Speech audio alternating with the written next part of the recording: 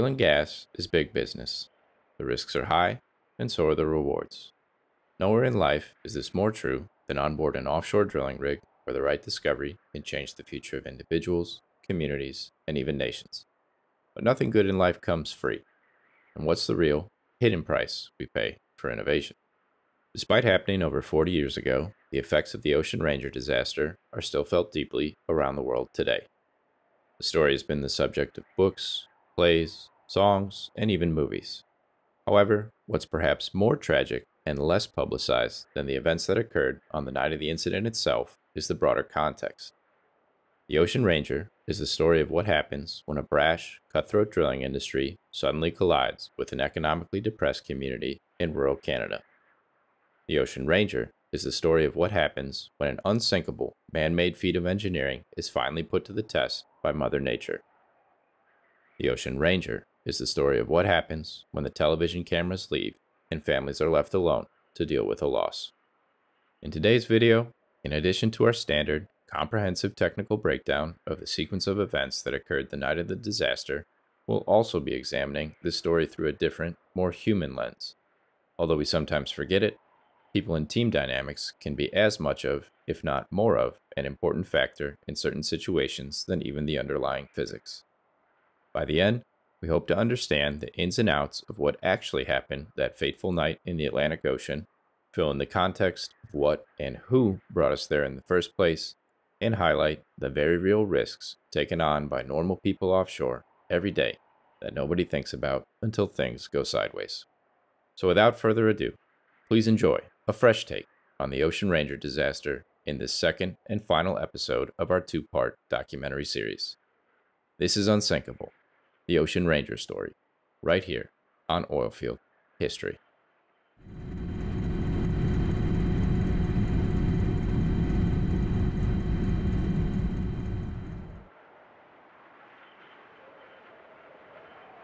February 14th, 1982.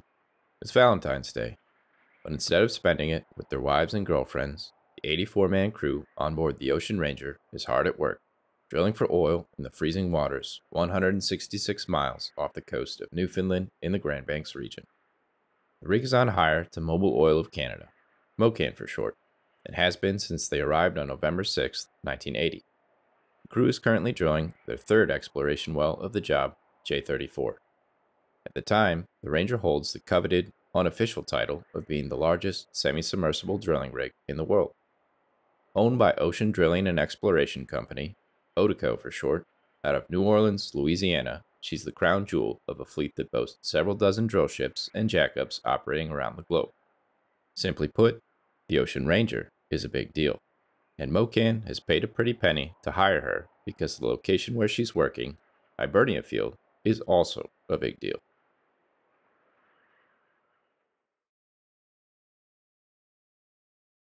The 1970s and early 1980s were a rough time in Newfoundland. Despite boasting plentiful natural resources, the province grappled with the highest unemployment rates in the country. Even before becoming an official Canadian province in 1949, the Newfoundland region and its people have always had a strong independence streak. They desired self sovereignty and self determination, but those dreams had been hampered by economic struggle compared to the rest of mainland Canada. The desire for Newfoundland to come of age and prove herself was bubbling under the surface when Chevron Corporation first struck oil offshore in Hibernia Field in 1979. For the first time in a long time, the discovery cracked open the door to a future where the people of Newfoundland could envision themselves taking their rightful seat at the table of a major international industry. Following the discovery at Hibernia, provincial and federal Canadian governments were off to the races, doing everything they could to encourage further exploration and development of offshore eastern Canada.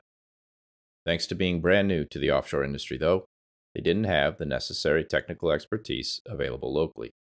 Instead, they had to use tax breaks to incentivize more established American oilmen from New York, Houston, and New Orleans to bring their companies and drilling rigs to work in the region. To protect their interests, the Canadians also put in place strong local content requirements, the rigs and their management may have been American, but the labor force would be Canadian. That way, the Canadian people could slowly but surely learn the ropes of the offshore oil business and eventually be able to run it themselves. We see this arrangement reflected in the breakdown of the Ocean Ranger's crew on the night of the incident. Of the 84 men on board, 56 were from Newfoundland and 13 were from mainland Canada. A side note for those interested after several major setbacks, one of which we're about to cover in depth here, Hibernia Field did eventually go on to fulfill her destiny as one of the great Canadian oil fields. Not only did she end up having double her originally estimated size with nearly 1.2 billion barrels of reserves, but she also set a world record when the over 600,000 metric ton Hibernia gravity based structure was installed in 1999. The field has since gone on to extend her original design life and is expected to continue producing for many years to come.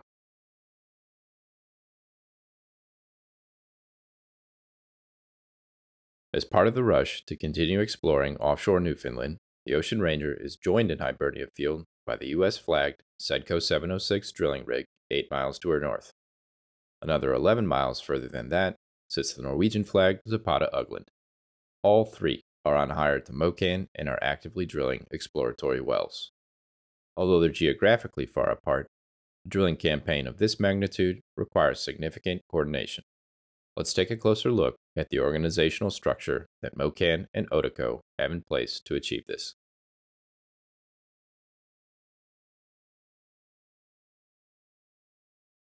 At this point in history, mobile offshore drilling rigs are still a bit of an odd duck.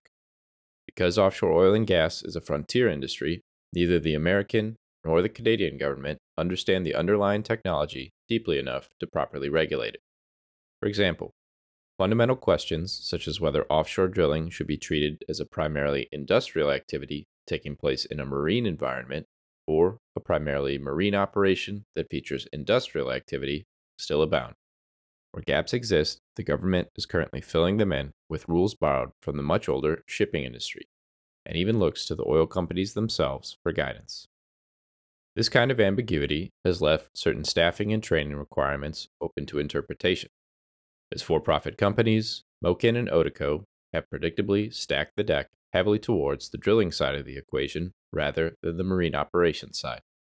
At the end of the day, drilling's what pays the bills. The perception at the time is that marine operations are the simpler, commoditized part of the business. With a little instruction, any operator worth his salt can quickly learn to manage things like the ballast control system with minimal prior seafaring experience. Therefore, there's no need to maintain a large expensive marine staff on board taking up precious bed space. This drilling centric approach is reflected in the senior leadership structure on board each rig as well. That consists of three men the Mocan drilling superintendent, the Odeco tool pusher, and the Odeco master. You may recall this structure from our previous episode on the Ocean Express because it's identical to what Odeco was using back then. The Mocan drilling superintendent is responsible for all Mocan staff and the well being drilled. His Odeco counterpart, the tool pusher, is in charge of all Odeco staff and safe operation of the vessel herself. Also reporting to the tool pusher is the Odeco vessel master. Although the master is a licensed captain with by far the most marine operations experience on board, Unlike on a normal ship, he is not the ultimate decision making authority. Instead, he reports up to the tool pusher, who has the power to overrule his decisions should he so choose. The offshore rig leadership teams all report up to their respective onshore managers. For Mobil, this is the Area Drilling Superintendent, Merv Graham. And for Odeco, this is Drilling Superintendent Jimmy Counts. Like any organization, in addition to the reporting lines that exist on paper, the individual people filling each role have a major influence on how things actually run.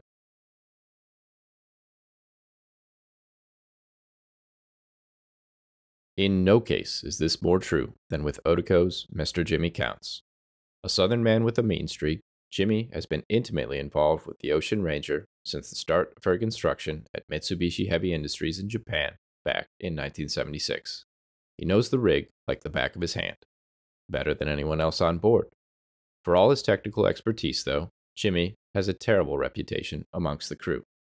He's universally known as being harsh, difficult to work with, and unwilling to compromise on just about anything. Regardless of what your religion is, if you're on his rig, Jimmy counts as God. And if you don't believe that, you can go to hell.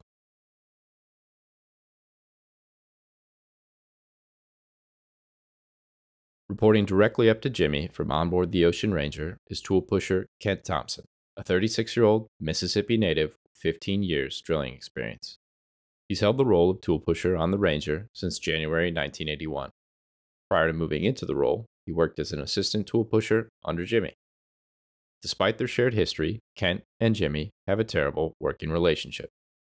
Jimmy often makes visits out to the rig, sometimes seemingly for the express purpose of demonstrating to everyone, including Thompson, that he is the one calling all the shots. One day, a few months before the incident, an argument over the amount of water being used in the rig's laundry boils over with Jimmy and Thompson, and Thompson quits on the spot. After taking the next chopper flight into shore and just a couple days to cool off, though, the relationship seems to have been patched up as Thompson rejoins the rig and his crew once again.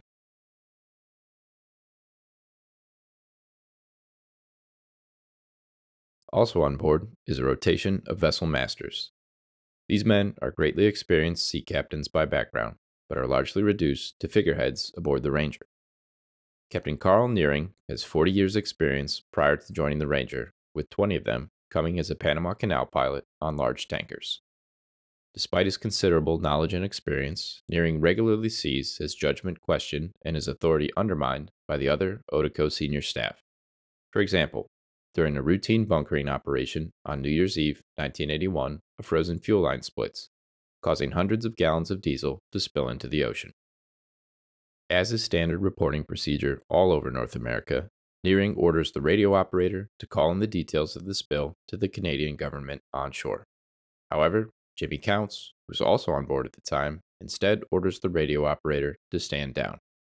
Appalled at the humiliation of being a vessel captain not allowed to control use of the radio, and thinking of the implications of what the situation would be like if something even more serious ever were to happen, Nearing resigns on the spot.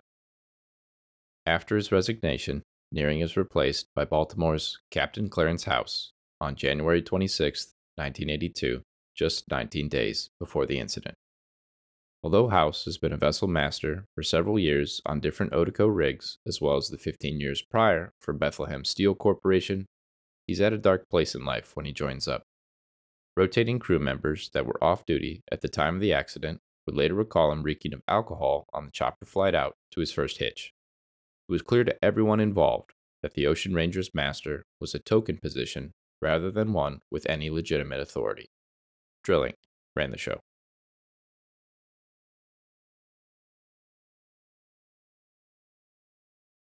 The Ocean Ranger herself is a sight to behold. She's the longest, the widest, and the tallest rig in field, with a displacement of nearly 45,000 tons. For comparison, Zapata Ugland, which is also considered a large drilling rig, displaces 30,000 tons. The Ranger measures 396 feet long by 262 feet wide. That's 121 meters long by 80 meters wide for our friends out there who prefer using the metric system. She's made up of eight vertical columns connected to two long pontoons running along her port and starboard sides. A series of additional truss and brace members, as well as two deck levels, support a large accommodation, a helideck, three rig cranes, and all cargo required for drilling. She's commonly referred to by management, especially Jimmy, as unsinkable, and she certainly looks the part the Ocean Ranger's sheer size contributes to the perception that she's invincible, and the more people say it, the more everyone seems to believe it.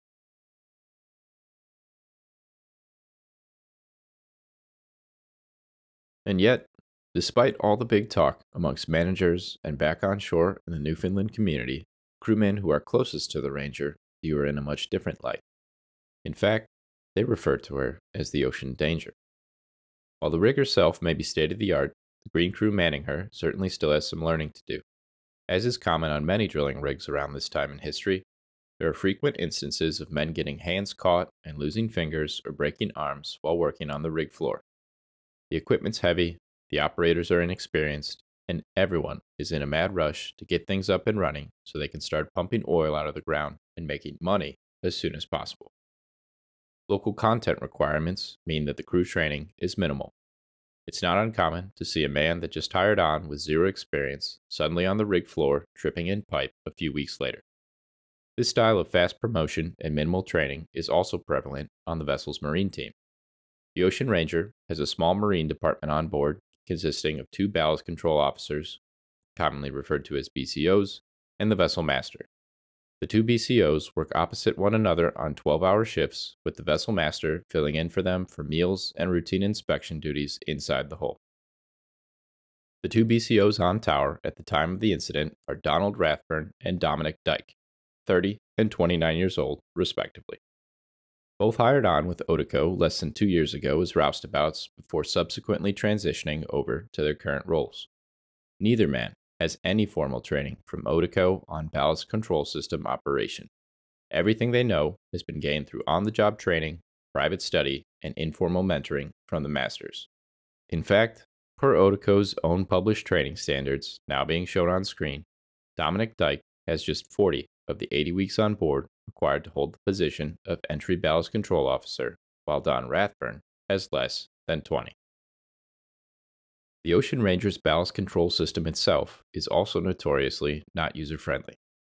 Each valve actuator down in the hull is controlled by a corresponding button on a switchboard located in the ballast control room. Although the physical system itself functions reliably, the skill level in operating it varies widely amongst the Marine team and leads to a troubling pattern of ballasting mistakes. A former Ranger senior BCO captured it best during his official witness testimony at court hearings after the incident when he said, quote, During probably the first year I was on board, somebody dropped a bunch of drill water from the drill water day tank to starboard 5. I recall that being about 5 degrees before we got it back. A couple of other times, somebody opened a valve the wrong way and got about 4 or 5 degrees on it. End quote. Unexpected listing events are shockingly commonplace for the Ranger. No one, not even the vessel masters, is immune because no one has the proper training or a complete understanding of how the full system actually works. For example, just two weeks before the incident, Captain Nearing's replacement, Captain House, famously pushes the wrong button on the control panel and quickly puts a 6 degree list on the vessel. The lean is so sudden and severe that the entire crew musters to lifeboat stations. Nearing is publicly reprimanded by tool pusher Kent Thompson following the incident.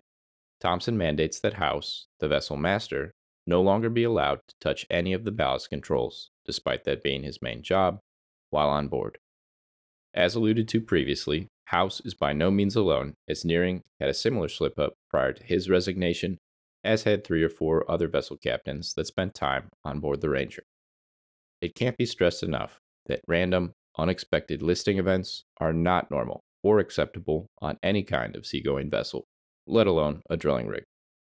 At the time of our story, there's already clearly a glaring skill gap on board the Ocean Ranger that's being allowed to linger instead of being properly addressed and rooted out. As mentioned, on occasion, unexpected listing events like the one caused by Captain House are severe enough for someone to sound the vessel alarm and the crew members to muster to their lifeboats in preparation for evacuation. However, there are glaring issues with the lifeboats as well. When the Ocean Ranger transitioned from being a Panamanian flag vessel to an American flag vessel back in 1980, the U.S. Coast Guard performed an inspection and stated that ODECO was to replace her current lifeboats with Coast Guard approved models prior to their next inspection in December 1981. However, ODECO has been slow to implement these changes. At present, one of the replacement boats is still sitting in its cradle on deck awaiting installation.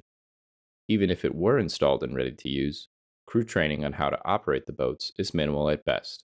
When mustering to lifeboat stations, it's common for the crew to nonchalantly show up in street clothes, pajamas, and other types of clothing not suited for the frozen environment of offshore Newfoundland.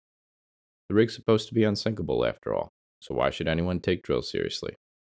Once previously, a crew member remarked to Kent Thompson about the sorry state of the life jackets and lack of cold water survival suits on board, to which Kent replied that, quote, if you're not satisfied with the condition of the equipment, there are 16,000 other guys waiting to take your job back on shore.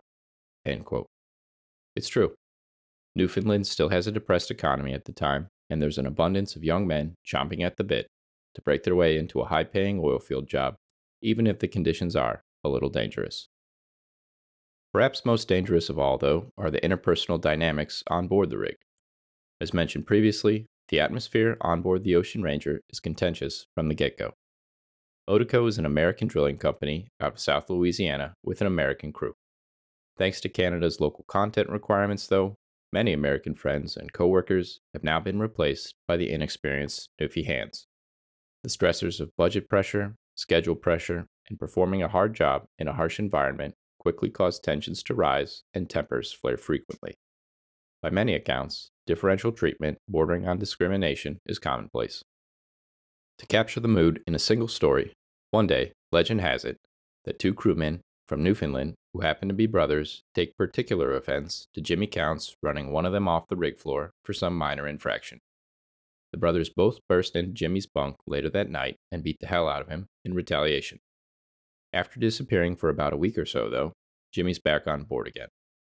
When the same two men later return to the Ranger on a supply ship, they're ready to be transferred over to the rig via the man basket attached to one of the rig's cranes to start their hitch. However, Instead of completing the personnel transfer like normal, Jimmy orders the crane operator to hold the brothers suspended high over the water for a couple hours instead.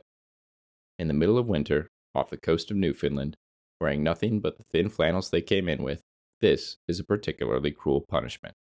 But such is life for the men on board the ocean danger.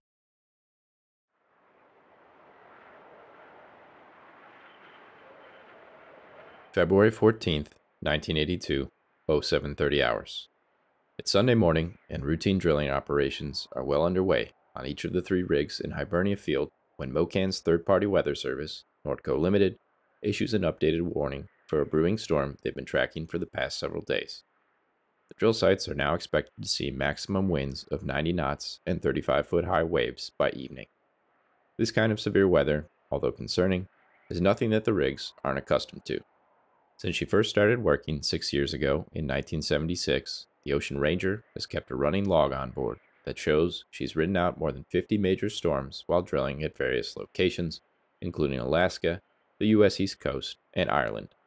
The crew knows that they just need to continue monitoring the situation, and if conditions do in fact keep getting worse, take the precautionary measure of standing by or fully suspending drilling operations. February 14th, 1982, 1100 hours. Around late morning, Kent Thompson calls Jimmy Counts for the second time today back at ODECO headquarters in St. John's. Kent informs Jimmy that the Ranger is still drilling ahead and that they plan to continue operations as normal unless conditions worsen. Jimmy agrees with the plan. He then tells Kent that he'll be leaving the ODECO office shortly to return home due to the increasingly bad, snowstorm like conditions that are developing in St. John's back on shore. If Kent or the Ranger needs further support, they can contact Jimmy there via the rig's Marisat radio system, as always. Listen now to several individuals who were present in St. John's that very evening describe the conditions they were experiencing. My wife and I walked down to my sister's house for a game of cards that night.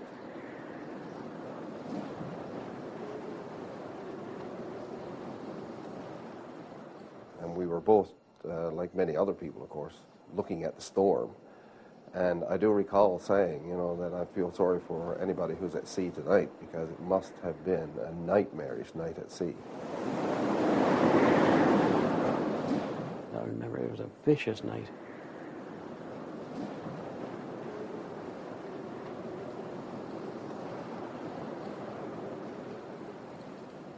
And I thought about it uh, that night, and I said, boy, I hope that storm is not out there. I was doing the ice and the weather, and uh, I mean, we were looking at the forecast. I mean, it was certainly call, calling for, you know, an enormously strong, you know, blow.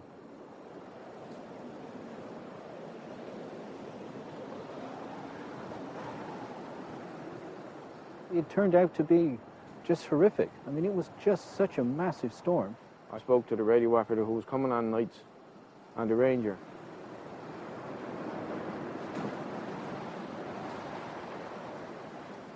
And he told me how he went in with, and sat down with the weatherman that evening, and uh, he was looking at the anemometer, and he said she went up to 115 knots before she started backing off, you know. So they had it a bit worse than what we did.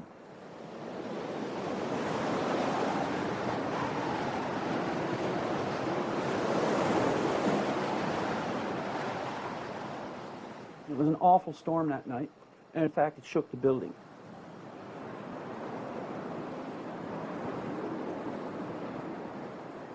So I woke up at that point, at about 2 o'clock in the morning.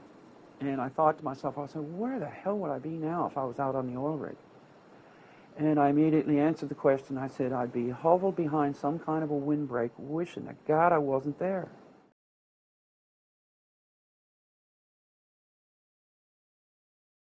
February 14th, 1982, 1200 hours. The weather does indeed continue to worsen as morning gives way to early afternoon. The Zapata Ugland is the first to throw in the towel on drilling ops. Although we're not drillers, we'll cover the quick and dirty version of the basics here for context. Drilling wells offshore is, generally speaking, very similar to drilling wells onshore. However, one major difference is that offshore, you must also account for the global motions of the vessel you're drilling from as she pitches, rolls, and heaves in the wind and waves. If the environment you're drilling in threatens to move your rig too far off your target location, that's a problem because you may damage your equipment or worse. Rigs that are larger and more stable enjoy increased drilling operational efficiency and larger working windows because they're more easily able to maintain station in a wider variety of environmental conditions. In the case of the Zapata Ugland, the weather is now deemed to exceed her operating criteria. She shears her drill pipe, hangs off in the lower ram of her blowout preventer, or BOP, on the seafloor, and comes back out of the hole. Sedco 706 follows suit shortly after, and she's able to hang off and come out of the hole without having to shear her drill pipe. Shearing drill pipe is an alternative means of disconnecting from a wellbore in which the drill pipe is literally cut in two by massive hydraulic rams located inside the blowout preventer on seafloor. This is done when circumstances such as time or issues with the drill string itself don't allow for the pipe to be pulled up and disassembled piece by piece as is normally the case. Shearing off isn't ideal because of the additional cost and time associated with restarting operations. However, sometimes it's necessary. It should be noted that the crew on board the Zapata Ugland testified that, on the day in question, they did in fact receive Nordco Limited's weather forecast with ample time to disassemble their drill string normally without having to shear off. However, they chose to shear due to a pre existing problem they were experiencing with their drill string, not sudden, unexpected onset of weather.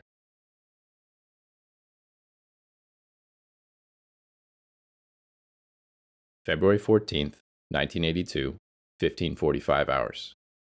With the two other rigs in field now disconnected from their respective wellbores, the Ocean Ranger is reportedly still drilling ahead at a rate of 18 feet per hour. Being able to go longer and harder than everyone else has historically been a point of pride on the Ranger. In fact, only once before in her six year history has she been forced to fully disconnect due to a storm.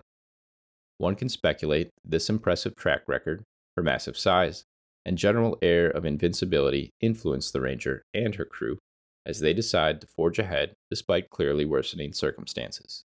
Eventually, though, even the Ranger is forced to admit defeat as the weather is simply getting too bad. When she finally does start the disconnection process in the late afternoon, she runs into several delays with her hoses fouling up in the side of the derrick due to the extreme winds. This forces the Ranger to shear her drill string off to disconnect from the wellbore more quickly Waves are now so high that they've begun spraying up and soaking the rig floor, making it dangerously slick. It's been a hairy afternoon at Hibernia. However, by 1845 hours, all three rigs are safely decoupled from their wells on the seafloor and hurriedly finishing last minute preparations for riding out the storm raging around them. It's at this point that the Ranger makes another tactical error. Standard practice for mobile offshore drilling units dictates that during extreme weather, vessel draft is to be raised from operating draft to survival draft. Raising vessel draft increases the distance between the waterline and the vessel's non watertight areas, a dimension more commonly referred to as freeboard. Maintaining adequate freeboard during storms is critical because it's a direct measure of the reserve buoyancy that a vessel has to work with in the event of damage to any of her watertight compartments or other unexpected listing or flooding conditions. More freeboard also means that you have greater capacity to counter flood compartments opposite the location of any damage to mitigate vessel inclination. And finally, increased freeboard also decreases the risk of wave slamming damage by moving critical structures further out of reach. Despite all of this, for reasons that will never truly be known, as the storm hits the Ocean Ranger, she chooses to remain at her maximum allowable operating draft of 80 feet 24.4 meters, instead of deballasting to our survival draft.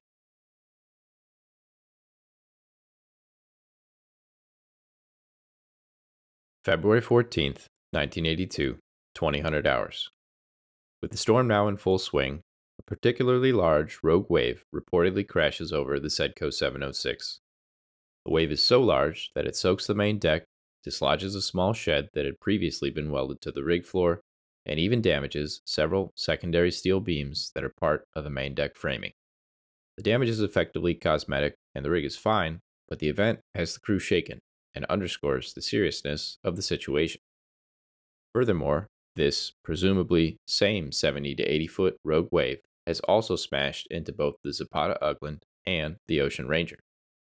The Zapata Ugland sustains no damage, but Ocean Ranger is not so lucky. As mentioned previously, the Ranger is made up of eight columns sitting on two pontoons that run north south. Since the crew has elected, or perhaps been forced, to remain at their maximum 80 foot operating draft, this puts the rig's ballast control room just 28 feet or 8.5 meters above the waterline in the third column on the starboard side. In addition to the ballast control panel and tank level gauges, the room also contains several other critical items, such as the electronics cabinets for the gas detection system and the PA system. There are also four small port lights, which are circular windows that the BCOs look out of to observe the vessel's draft and the conditions outside. Notably absent, despite the technology being available at the time, is a digital means of measuring draft or any secondary means of draft measurement. Essentially, this means that if the Ranger BCOs want to know how low their rig is sitting in the water, they must open the port lights in the ballast control room so they can look out each window, observe the physical draft marks painted onto the side of each column, physically record those draft readings, then calculate the average. Despite being designed to withstand pressure from wave forces, glass windows in a giant steel column are still obvious weak points. As a means of reinforcement, each port light is outfitted with a steel deadlight cover, which can be closed and secured in place in the event that a particularly large wave is anticipated. Unfortunately for the Ranger, and again for reasons that we'll probably never truly know, none of these deadlight covers are in place when the massive rogue wave that damaged the Sedco 706 also slams into Ocean Ranger. Port light number 4 is immediately shattered, and seawater splashes over the control panel, causing it to short circuit. The lights on the panel that indicate whether a given ballast control valve is open or closed are now randomly blinking, dimming, or have, even more confusingly, shut off completely. The BCOs begin to panic, at first assuming that the very valves that keep their lower hold tanks from taking on water directly from the open ocean may now be opening and closing uncontrollably thanks to the panel short circuiting. In reality, the ballast control panel has short circuited, but no valves are randomly opening and closing on their own just yet.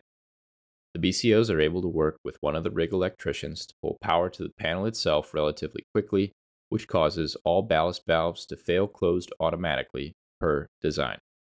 The vessel does not take any immediate list, and so for now, the situation appears to be under control. The behavior of both operators and managers on board the Ranger in the hour or so following the initial damage to port light number 4 is consistent with this theory. Relatively little radio communication goes on between the rig and shore during this time. In the conversations that do occur, there's barely any mention of the port light situation, much less severe, sudden listing or anything that constitutes an emergency.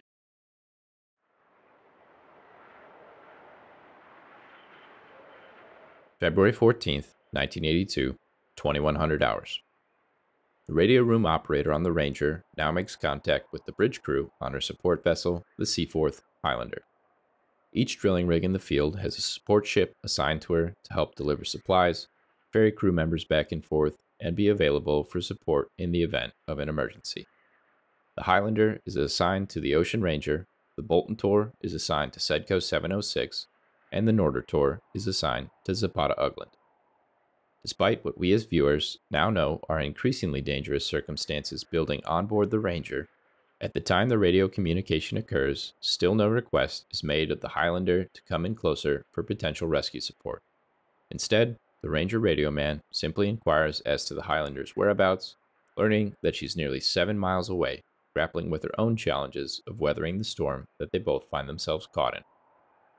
February 14th, 1982, 2200 hours. Mobil drilling foreman Jack Jacobson calls his supervisor, Merv Graham, back on shore, giving him a general update on the events of the evening, including the hanging off, the shearing of the drill pipe, and eventually the broken control room port light too. Surprisingly, though, Jacobson's demeanor is casual, saying that their situation is under control, the ballast control system is functioning normally, and that there's no cause for concern. After hanging up with Graham, he repeats this message on phone calls with the Mobil reps on board the other two rigs. Then, all goes quiet as midnight passes by, seemingly uneventfully. All indications from the information available to describe what was going on on board Ocean Ranger during these few hours following the initial breaking of port light number 4 are that A. The rig is not yet experiencing any sudden, unexplained listing problems. B. The crew views the port light situation as something non critical that will be resolved shortly, which is why they either neglect to mention it or describe it nonchalantly during the radio conversations, and see That they are not in any inordinate amount of danger. This is just another big storm that they're in the midst of waiting out.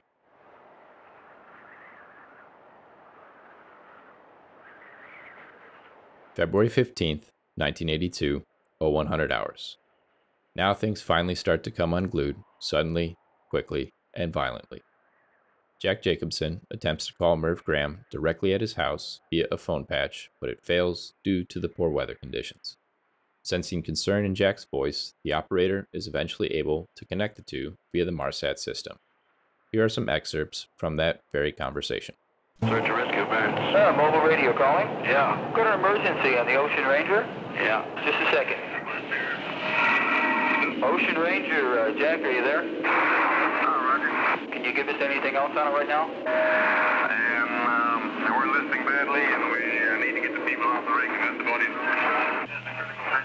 Uh, we, we may not be, hold, uh, be able to hold a rig, and uh, rig might blown over. Roger, Jack. Could you get us the wind direction, please? The wind direction, over. West, and it's 70 or 70 to 80. Roger. How many boats have you got on location right now, over?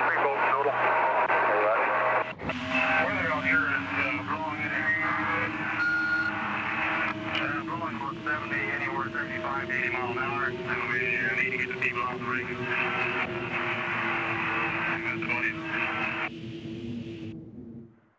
As we can clearly hear, at this point, the Ranger now all of a sudden has significant problems. Jacobson informs Graham that the Ranger is listing significantly towards her bow. Crew is not sure what the cause is, they're still working to isolate the issue. Graham and the team on shore alert the Coast Guard, their contract helicopters, and the support vessels in the area, telling everyone to mobilize to the Ranger's position immediately and stand by to provide assistance. February 15th, 1982, 0105 hours. Five minutes after the conversation with Graham, the Ranger herself makes radio contact again with Seaforth Highlander. This time, they request that she come in close to standby position. Unfortunately, there was no similar request made of the Highlander when they spoke earlier in the evening, so she's still seven miles away, and as a much smaller vessel, is about to have a hell of a time steaming through large, heavy seas to even make it to the Ranger's position, let alone be ready to render aid. It's at this same time that Ranger also first informs Highlander that she's listing badly and all countermeasures to regain even keel are proving ineffective. February 15th, 1982, 0109 hours. The first official distress call goes out from the Ranger. It's a somewhat garbled telex message to the Coast Guard Regional Command Center located in New York, indicating that it's being typed out very hastily. We have that message fully transcribed, word for word, typos and all, on screen. We'll put it up for a few seconds so you have a chance to read it. February 15th, 1982, 0110 hours. Ranger radio man Ken Blackmore contacts Mobil Shore Base and asks them to begin transmitting a Mayday signal on their behalf, implying that the Ranger may shortly no longer be able to do so herself. February 15th, 1982, 0111 hours. Jack Jacobson phones his Mobil counterpart on the Sedco 706 and requests that they begin transmitting the same Mayday signal for the Ocean Ranger. By this time, both the Sedco 706 and the Zapata Ugland have dispatched their own supply ships to the Ranger's position. However, they're still 15 and 20 miles out, respectively, and, just like the Highlander, will have to fight their way through massive waves and gale force winds before they can even get there. In a matter of less than half an hour since the first distress call was made, everyone in Hibernia Field is now aware that there's a massive problem on board the Ranger and that things are not looking good. As they scramble to organize rescue resources and get them en route, Ranger radio operator Ken Blackmore's voice crackles to life over the radio once more at 0130 hours. He informs Mobil Shore Base that the Ranger's crew are now abandoning their posts and heading for lifeboats.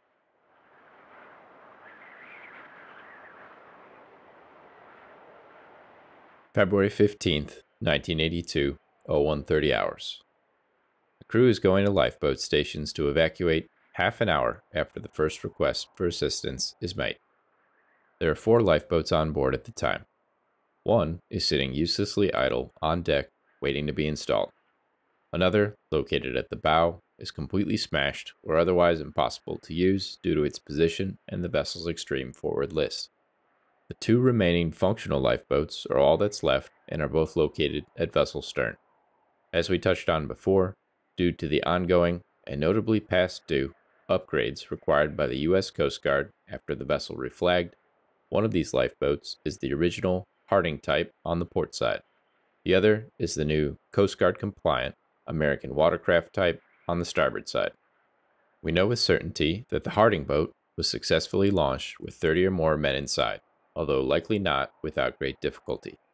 It remains unclear whether the watercraft boat was ever successfully launched, and, if she was, whether there was anyone inside. Regardless, due to the extreme angle of the vessel, made worse by the dynamic pitching and rolling motions caused by large waves, we can safely assume that any lifeboat launched from the stern side was almost certainly being violently smashed into the side of the rig on its way down, potentially causing injury to the crew and significant damage to the boats themselves.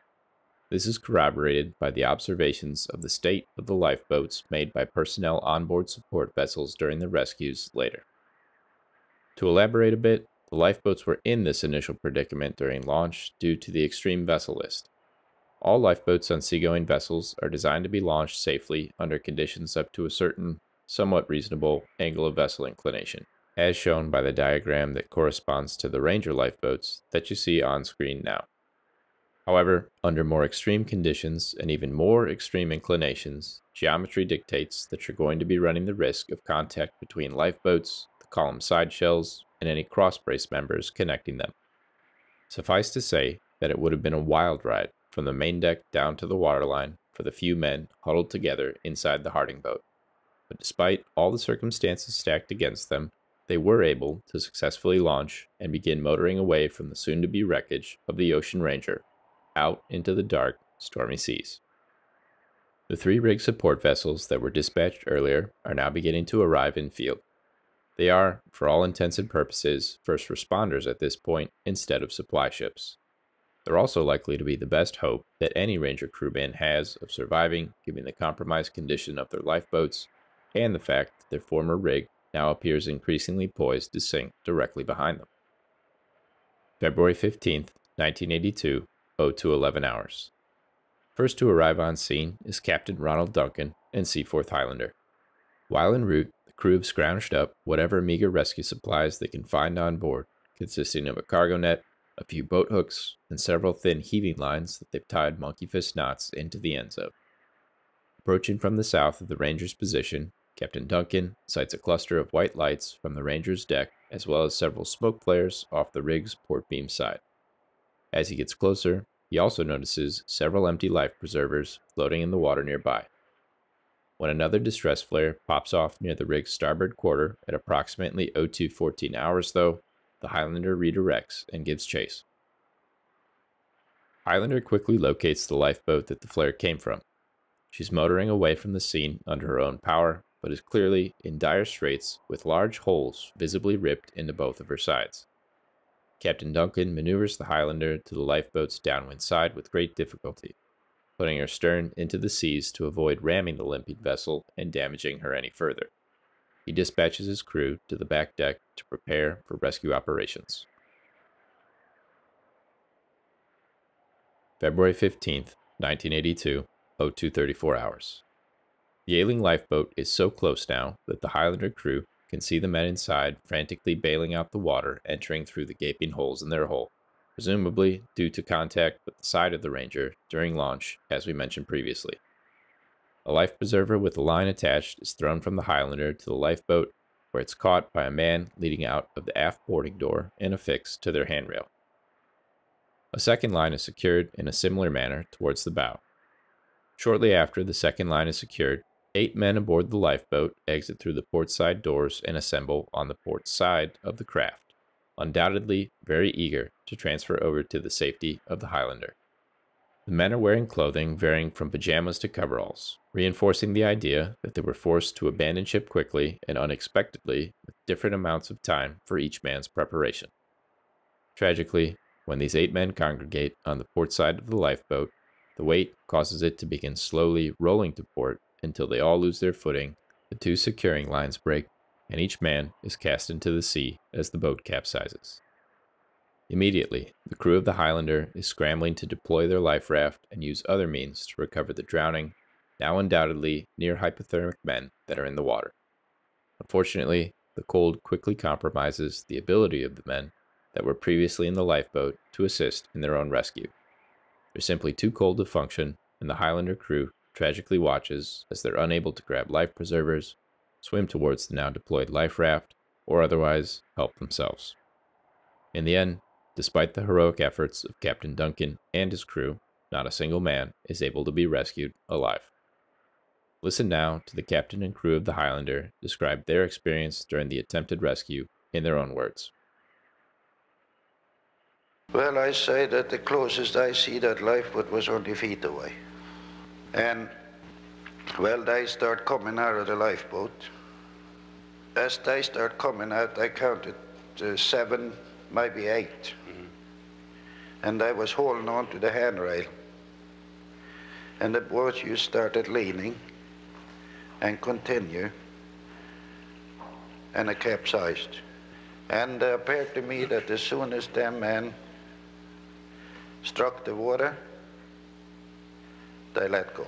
You can hear the guys scream for help and things, I guess. It was pretty rough on us. And trying to get boat hooks out to them, get a hook into a bit of clothing or something, but they just couldn't get them. When you reach out and you're just about to get them, you'll have to drop the hook or hold onto the hook and grab a hold of something and hold on for a second. The wave will come and take you. Lifeboat was damaged. There was a large hole in the bow of her. And she was cracked down the bottom. There's a crack in the bottom of her. At the third attempt, we got her line on her. Uh, she uh, came up to when, uh, when the ship was even. She came up to her rail. It was a good view. You could see right down through the boat. There were several bodies there uh, strapped in by these seat belts they have in the boat. I would say rough number, maybe 20. The weather was extremely severe. We had uh, snow, freezing spray, water coming over the deck. I guess we can be lucky that we wasn't among them too. February 15th, 1982, 0245 hours. Next to arrive on scene is Captain James Davison and the Bolton Tor. Over an hour has passed since the abandoned ship order was given, though, and so the Ranger herself's condition is now decidedly worse. Fewer lights are visible on deck as the Bolton Tor surveys the scene, not finding any signs of life or remaining lifeboats in the immediate vicinity. At 0255 hours, the Bolton Tor receives a radio request from the Seaforth Highlander for assistance in the ongoing rescue attempt to recover the men in the water from the capsized Harding boat, and so she proceeds in that direction. February 15th, 1982, 0300 hours. Meanwhile, the Zapata Ugland support vessel, Nordertor, which was furthest away when the distress call was received, is continuing to speed toward the Ranger's position, all while tracking her on the radar. Around 0300 hours, Captain Baxter Allingham notes that the rig has disappeared from their screen. Shortly thereafter, two new blips, presumably the pontoons of the capsized rig, appear in the same location before disappearing altogether by 0338 hours. It's therefore assumed that Ocean Ranger officially capsized around this time. Helicopters were also scrambled as part of the rescue effort, although their takeoffs are initially delayed by the incredibly dangerous storm conditions gripping onshore Newfoundland as well as Hibernia Field. When they finally do arrive on site, their effectiveness is severely limited due to the incredibly elevated wind conditions and sea spray from large crashing waves. Pilots would later describe the need to hot refuel on board Sedco 706 and Zapata Ugland because they couldn't risk turning off their engines for fear of being blown off the helideck. The heroic efforts of everyone, from the pilots down to the rig crews that were literally crawling out to the choppers with fuel lines to avoid being blown off in the wind, were also remarkable to read about and deserve to be noted and commended here.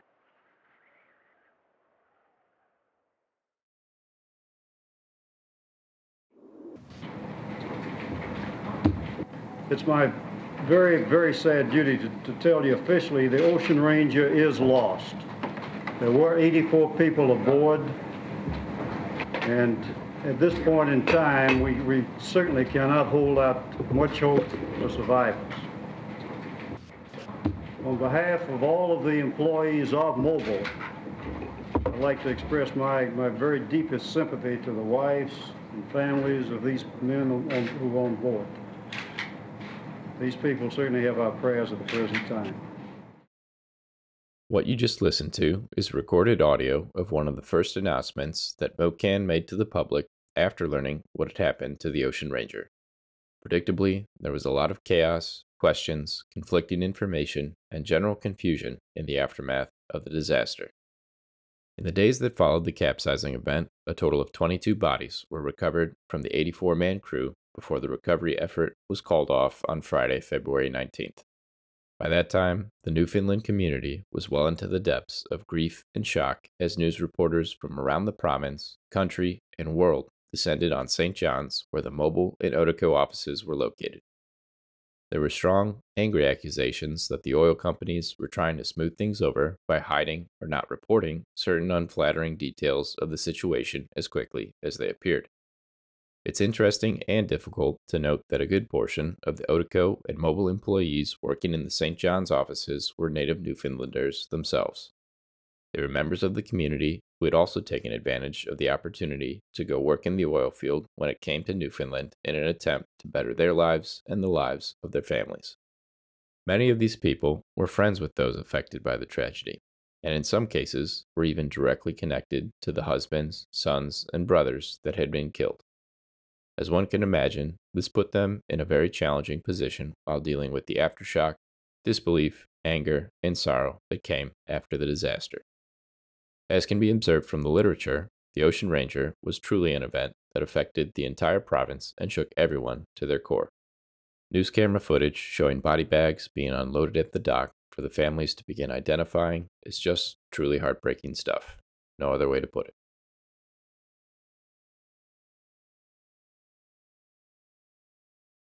While the societal and emotional impacts of the disaster are one aspect that needs to be dealt with, we also have an obligation to dig through the nuts and bolts of what happened. What are the technical root causes behind why the Ocean Ranger capsized? There were multiple investigations conducted by multiple government agencies from multiple countries after the incident, namely Canada and the United States, given where the vessel was flagged. Computer simulations were run, scale model testing was performed, Divers were dispatched to recover evidence from the wreck, and hundreds of hours of in person interviews were conducted. First and foremost, the Ranger got off on a bad foot when she chose to continue drilling despite the clear forecast of increasingly severe weather issued by Nordco Limited for the afternoon and evening of February 14th. We see this reflected in the difficulty that the Ranger had coming out of the hole when her hoses fouled up in the derrick and she was forced to shear off her drill string. Neither Zapata Ugland nor Sedco 706 had to disconnect with the same level of haste, because the time pressure was essentially self imposed by the Ranger when she chose to keep working. The next key mistake came when the Ranger failed to deballast from her 80 foot maximum operating draft to her survival draft before the storm overtook her. As explained earlier, decreasing draft increases freeboard, and therefore reduces the risk of wave damage to critical structures such as a ballast control room that happens to be located just 28 feet off the waterline. whether she ran out of time for this operation due to the time pressure imposed by her decision to keep drilling late into the afternoon, or fell victim to her own self perception of invincibility, in either case, the crew's decision to not deballast put their Achilles heel of a ballast control room unnecessarily at greater risk. The next link in the chain is the infamous broken port light number 4. Lab testing later revealed that its manufactured glass thickness was below the dimension called for in design drawings. There was also, predictably, further wall loss due to the corrosive nature of the saltwater environment, meaning that the hydrodynamic force generated by the rogue wave was more than enough to cave it in and flood the control room with seawater.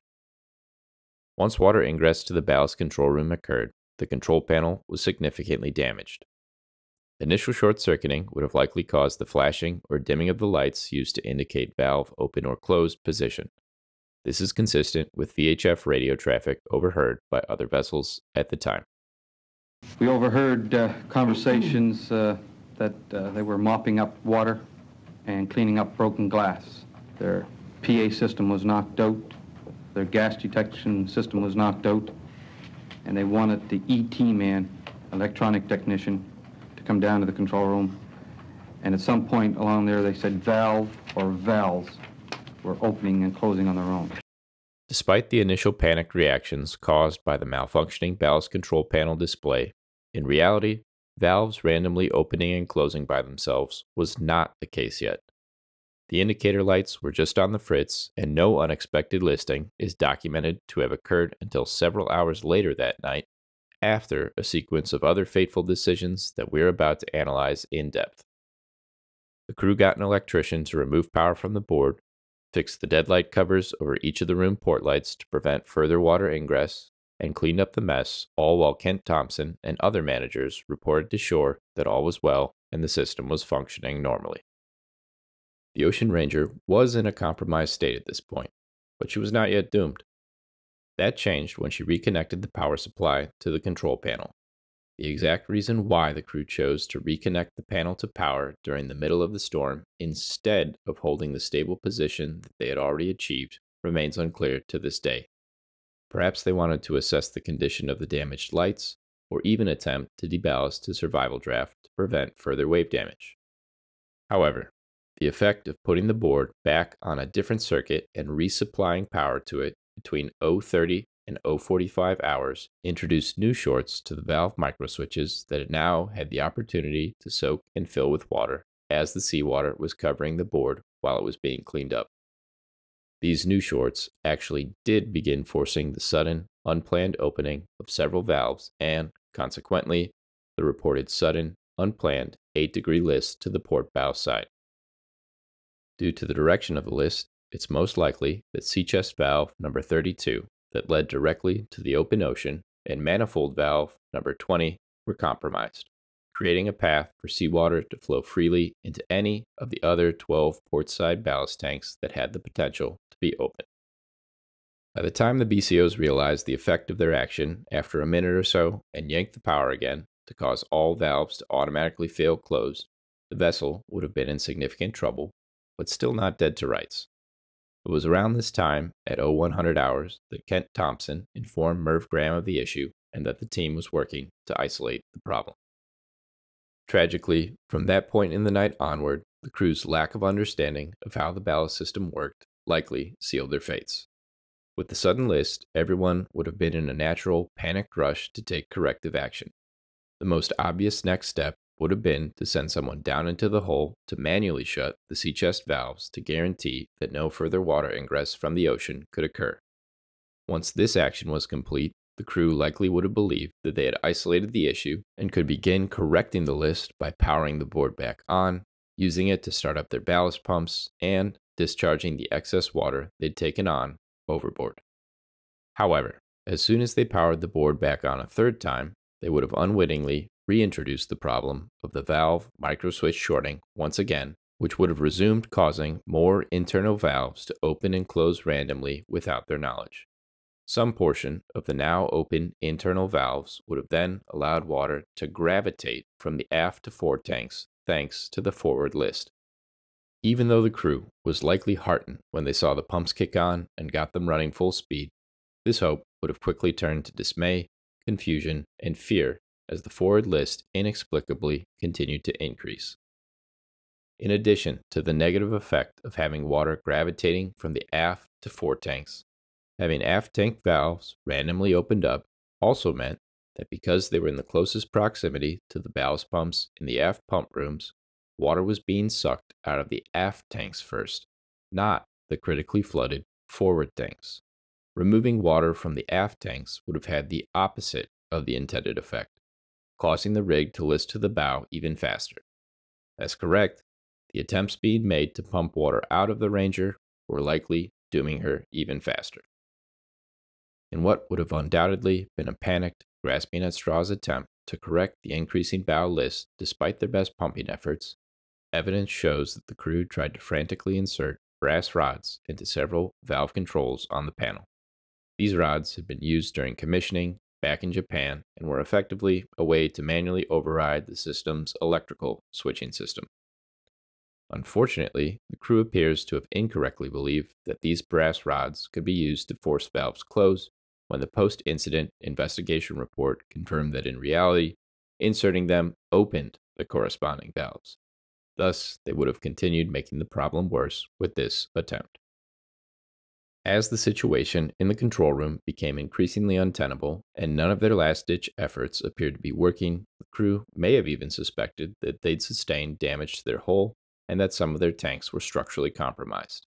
As they were boarding lifeboats and attempting to evacuate the facility in a panic, the list would have continued to increase. Once it reached the 10 to 15 degree mark, downflooding which we covered previously in the BP Thunderhorse and Seacor Power videos, would have begun in the enormous open top mooring chain lockers. As is usually the case, the downflooding phenomenon would have compounded the bow list issue, likely introducing even more unwanted seawater into the deck box and columns through open vent lines and putting the final nail in the coffin for the Ranger.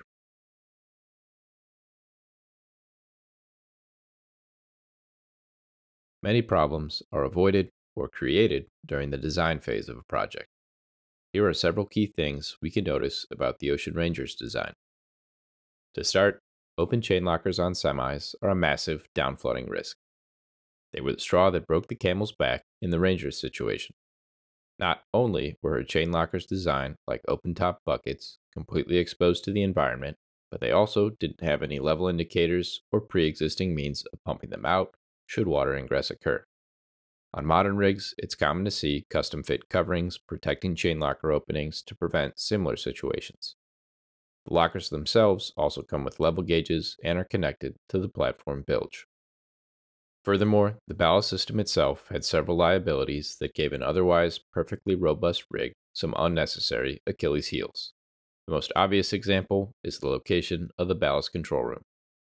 Having spaces normally occupied by humans unnecessarily located in the splash zone is a poor design choice that had fatal consequences for the Ocean Ranger. When rigs are designed, if we have the opportunity to engineer out potential risks, we can buy ourselves more margin for error. For example, it's common practice to put a rig's flare boom on the opposite side of the platform from the living quarters. If you have the opportunity to move something dangerous away from something vulnerable, you typically take it. In the Ranger's case, if the ballast control room had been located well away from the waterline, that design choice would have meant that the Marine team likely wouldn't have had to fumble their way through dealing with a short circuited ballast control panel, giving them unclear indications of what the state of their system was. Imagine trying to read a multi hundred page user manual while the rig you're on is rapidly sinking around you and you don't know why. That is not a recipe for success and we should use engineering design choices to eliminate on the fly troubleshooting like this whenever possible. One more smaller but still important point on the ballast system would also be the location chosen for the ballast pumps. Keeping all of this equipment at the aft end made for fine enough operations when the rig was relatively even keel, but introduced some significant liabilities when she was inclined, especially to the bow side. Namely, the phenomenon whereby the crew was unable to effectively dewater the rig's forward tanks when they desperately wanted to choosing to incorporate or evenly disperse pumping resources into the ballast system design may have been another design choice that could have mitigated or even eliminated this unexpected behavior on the night of the incident.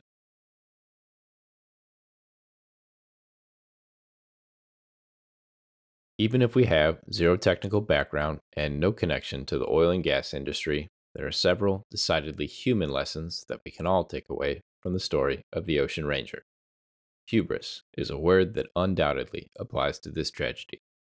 The Ocean Ranger was touted as unsinkable by management, to the point where everyone in the Newfoundland community who had never even laid eyes on her thought of her that way as well.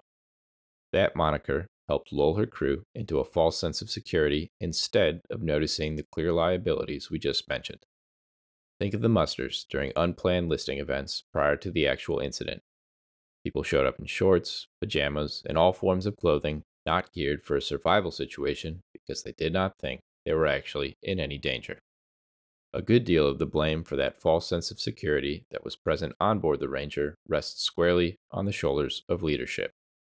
From the time she was still being built in Japan, ODECO boasted about her being unsinkable. Hindsight's 2020, and now this statement clearly seems ridiculous. If maritime history has taught us anything over the years, it's that anything that floats can be sunk under the right circumstances.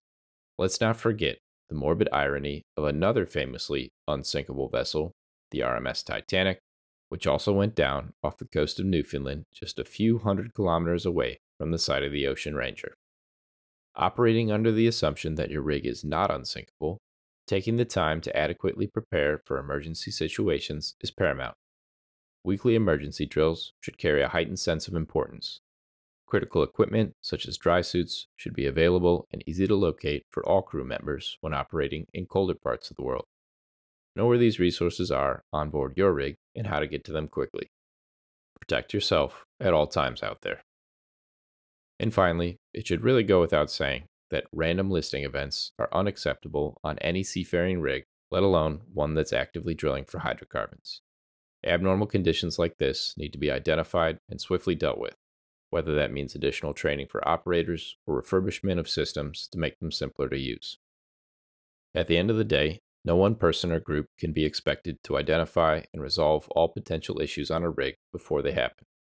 It's a system that's way too big and way too complex for that. Consequently, there's always going to be a certain level of risk that you need to accept, as with all things in life, from flying planes to driving your car to work. But a healthy, team like culture where the crew places a certain level of importance on being their brother's keeper can go a long way towards making things safer than an adversarial environment can. It was truly sad to read eyewitness accounts of managers like Jimmy Counts declaring that they needed to, quote, go out and save the rig rather than the men on board as events were transpiring that cold Monday morning in February. When we do not place much value on the lives of our coworkers and do not think like a team, it can put us all at greater risk. In stark contrast to this, the bravery of the men on board the three support vessels, Seaforth Highlander, Bolton Tor, and Nordertor, deserves to be commended. Despite being on smaller ships with inadequate supplies and the worst sea conditions that many of them would likely ever see in their careers, these three crews did not hesitate to steam full speed ahead to the Ranger's position to render whatever aid they could that morning and after, in many cases at great risk to their own lives. We'll never know their names. We'll never meet them. And yet, they're the kind of people with the strength of character to rise to the occasion when the time comes to help other strangers who are in need. In the middle of this sad story, these men are an example of some of the highest ideals that we as humans can aspire to.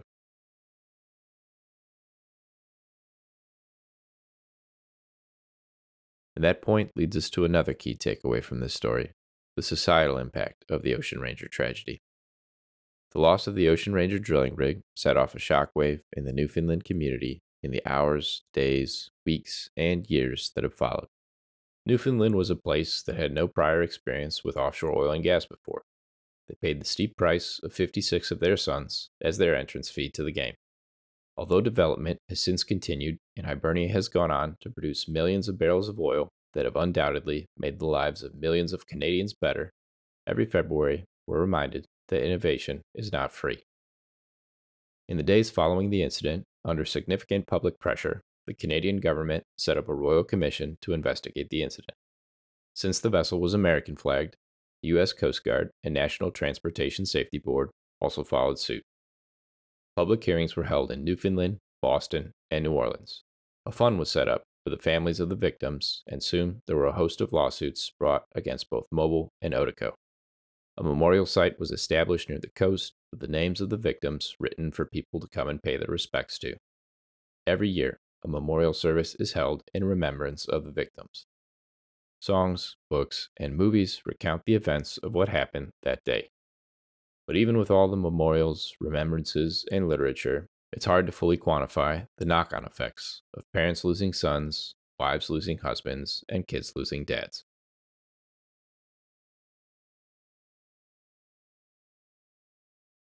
Now we come full circle. We saw in episode 4 that the ODECO Ocean Express had gaps in operating procedures, lack of crew emergency response training, fractured onboard leadership, and a poor understanding of how to operate their own life capsules. All of these factors played a role in the vessel sinking and contributed to the loss of 13 lives during the incident. Sadly, despite the fact that ODECO and the industry had six full years to learn from the lessons that came out of the Ocean Express disaster and make operations safer, strikingly similar root causes were uncovered during the Ocean Ranger incident investigation. Thanks to a contentious leadership situation on board, a false sense of security that led personnel to overestimate their preparedness for emergencies, and a lack of understanding of how to properly save or escape the vessel if things did go wrong, this time 84 men died, and the offshore oil industry was making headlines again for all the wrong reasons. As humans, we really seem to have a hard time following through, especially on a corporate and industry wide scale.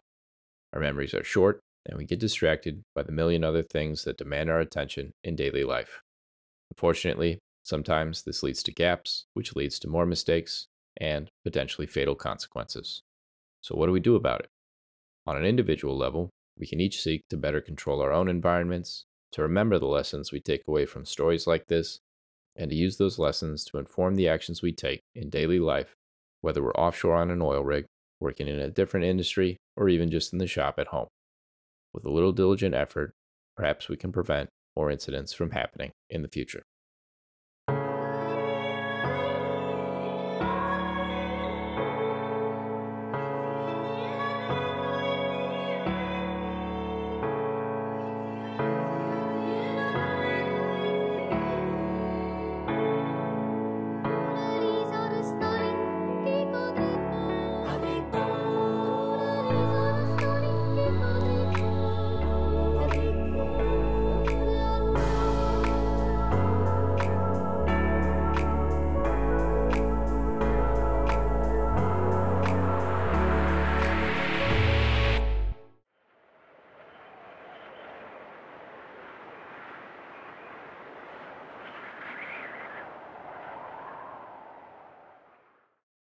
Thanks for watching, everyone.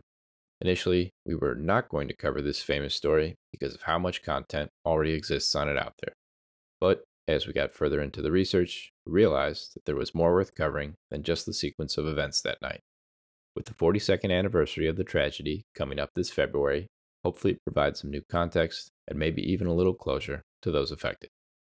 Two resources that were invaluable to understanding the broader context of this story that we want to call out by name are the books Rig by Mike Heffernan and The Ocean Ranger by Susan Dodd. We read both of these in preparation for making the documentary, and they each captured the human and socioeconomic sides of the tragedy better than any movie, newspaper article, or official incident report ever could. For anyone interested in doing an even deeper dive into all the details that we simply didn't have time to include in this video without making it three hours long, the links to both books are in the description below. We're not affiliated in any way, we just think they're great. In conclusion, by popular demand, we finally made it out of the Gulf of Mexico with this one. In the year to come, we plan to continue the journey around the globe. As for exactly which countries we'll find ourselves in next, that's for y'all to speculate and request in the comments. We read them. This year, we'll be busy with real life work in addition to making these documentaries, but we're going to do our best to keep a regular upload schedule of high quality content regardless. Until next time, enjoy this one and take care.